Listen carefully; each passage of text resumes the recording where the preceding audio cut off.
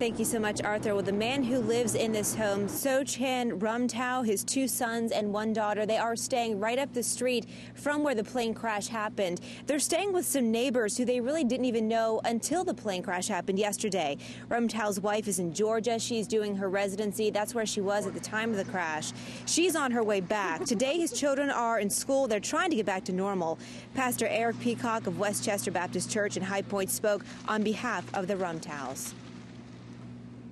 He asked me to ex- express how grateful he is to his neighbors. Their support has been overwhelming. Grateful to the school. They're, they're already trying to reach out to the family, the folks that he works with, his friends and family, his church members.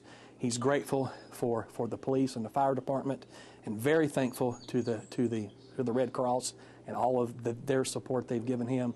And he's very, um, also wants to express he's praying for the families who've lost loved ones in the crash.